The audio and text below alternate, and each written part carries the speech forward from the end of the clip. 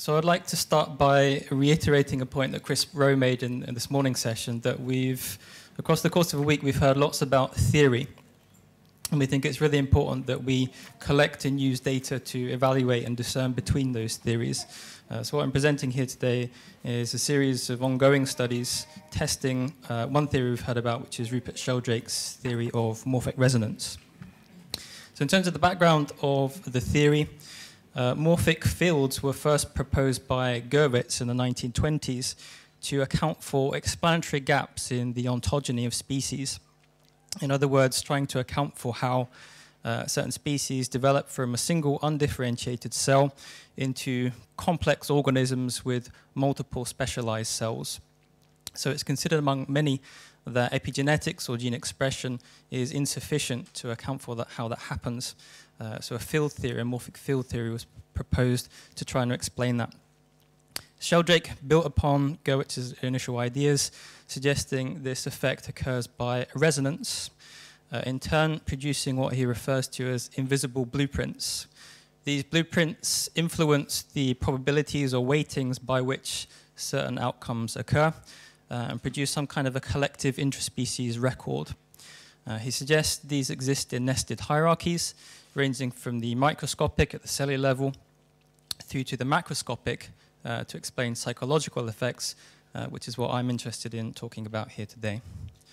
In terms of evidence for the theory, Sheldrake cites numerous sources ranging from field investigations looking at species learning and how members of species uh, isolated from each other seem to learn things almost at exactly the same time, despite not having migration paths to explain learning by imitation, uh, and animal studies in, in, under more controlled conditions in laboratories using behaviorist paradigms um, with uh, the control animals unexpectedly showing hereditary effects or effects which would normally be explained by hereditary means despite being isolated from animals in, in learning paradigms.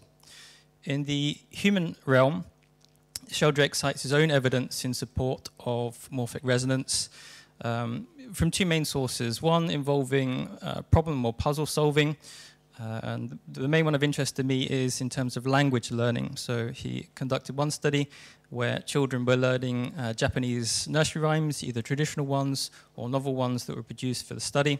And the finding was that the traditional rhymes were, were, were acquired, uh, remembered better than, than the novel ones. So the explanation here is that uh, the morphogenetic or the morphic field um, that's been um, generated and rehearsed with the traditional nursery rhymes explains why uh, children can learn the traditional nursery rhymes faster than the, the novel ones. Um, this is very nice. Alternative explanations possible for that in terms of the, the rhyme or the meter in the traditional nursery rhymes being preferable or more memorable uh, than, the, than the, the, novel ones.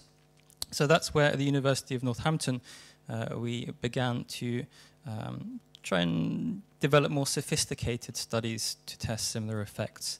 So the medium we used for this was uh, Mandarin Chinese characters as stimuli. The main rationale for this is because it's such a widely spoken uh, language, we would expect the, the morphic field to be, to be very strong.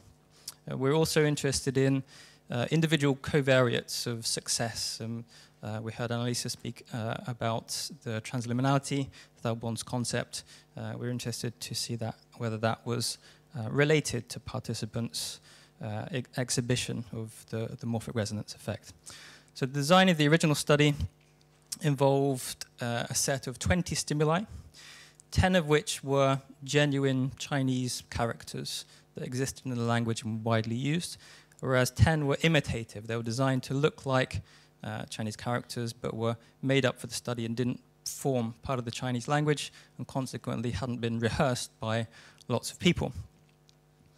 In the presentation stage of the study, participants were shown five of the real characters, five of the imitative characters at the presentation stage.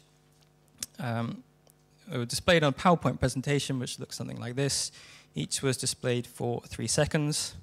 And then there was a, a recognition or a judging phase where participants were shown all 20 characters and asked to indicate which ones they thought they'd seen during the presentation stage. So of these 20 characters, 10 are real, 10 are imitative, 5 real ones they would have seen before, five imitative ones they'd have seen before, uh, 10 that will be new to them. So the results from study one uh, across a participant sample of 60 did yield evidence supportive of Sheldrake's theory. So participants showed a, a, preference for recognizing more of the genuine characters than the imitative ones. Uh, they also found a false memory effect. So for the characters they hadn't been exposed to, they erroneously suggested that they had seen more of the genuine characters than the imitative ones. In terms of individual difference covariates, transliminality was found to be positively correlated with the main headline morphic resonance effect, uh, but not for the false memory effect. Uh, this is where I came into the picture, and this is usually when the uh, nice supportive results tend to go away. Uh, I was very satisfied that the uh, results of study one were consistent with Rupert Sheldrake's theory, but were not a confirmation of it. And I had some concerns about the methodological approach, particularly around the generation of the imitative stimuli and whether they were uh, equivalent to the, to the genuine Chinese characters, uh, and also the lack of randomization in how the um, stimuli were presented to participants. So if you recall the, the recognition sheet you, you saw previously, the characters were presented in a fixed order, which could just be capturing people's kind of spatial preferences for where they like to note things on pieces of paper.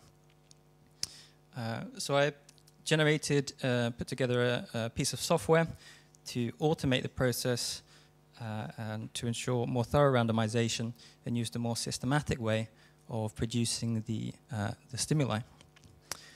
So that systematic method involved looking at the structural characteristics of Chinese characters. Chinese characters are composed of a core component, which is either referred to as a radical or a head component, which contains a specific number of strokes which are derived from a finite set of strokes. Chinese characters are then completed with the additional, uh, with the addition of extra strokes to, to make um, the, the large number of Chinese characters which exist in the language. So using these structural, structural properties, we're able to generate imitative characters which contain the same core component, the same head component or radical, and were matched also for the level of complexity or the total number of strokes within the character. So if we take one particular example, um, this is a radical head component which contains uh, four strokes, and in the case here, the genuine character which translates as totem pole contains an additional three strokes, whereas this imitative character contains the same radical and the same number of additional strokes, but has no meaning in the Chinese language. The availability of a larger number of stimuli allowed us to create three conditions. In the first condition, participants were shown the genuine character. In the second condition, the imitative counterpart, and in the third condition, neither of the, the, the stimulus pairs were, were shown to participants. So the program allowed everything to be automated, including the instructions. Data collection in terms of the individual difference covariates were also integrated into the software, which eliminate, eliminated the potential for human error in data collection and data entry that was uh, evident in study one, or possible in study one. Character presentation looked like this, again for the same amount of time as in study one. We also introduced a distractor task into study two. The rationale for this was to try to um, inhibit people's memories or diminish people's memories to try to amplify the false memory effect, which was reported in, in study one. So uh, they were asked to to do something else, and this is kind of the pinnacle of my career as a novice programmer in putting together a, a computer version of Scissors, Paper, Stone, or Rock, Paper, Scissors, as you know, may know in the States. Um, and this just distracted people from rehearsing what they'd just seen uh, with, the, with the aim of diminishing their, their memory for, for the characters. The recognition stage in this study took the form of presenting the stimulus uh, stimuli in pairs for the match pairs participants were asked to select which one they thought they, re they recalled seeing, indicate how confident they felt within that, uh, uh, or alternatively to indicate that they didn't think they'd seen either of the two characters previously. Um, and the results did go away. So here we saw no um, effect, no headline morphic resonance effect, so there was no preference for the uh, genuine characters over the imitative characters. Uh, however, we did find when neither of the characters were presented, it was actually the imitative characters that uh, participants showed a preference for. And the individual difference covariants we looked at were again transliminality and openness to experience, uh, and there was no relationship found there. So that leads us on to study three, which is ongoing. And study three, we're, design, we're, we're intending to um, account for the inconsistencies or to identify why, why they were. So it could be that the new method we introduced for study two uh, reduced any artifacts or, which were inherent in study one. Um, maybe the theory is bunk and we, it just uh, wasn't being captured properly in study one. It could be my fault, it could be an experimenter effect. Uh, so we introduced um, some new research assistants to collect the data in study three. Or it could be that the differences we applied to study, uh, study two no longer tapped into the effect as study one was doing. Um, so the uh, study three is now using stimuli from both study one and study two to compare the effect and using a range of different study methods. So uh, a range of different uh, judging methods rather. So I'm pretty much out of time, but I'll just show you what the uh, three judging methods are. So we have the pairwise presentation as per study two, the setwise presentation as per study one, and uh, a novel element for this study is an individual presentation of the characters. So we are at about a quarter way through collecting data uh, so far.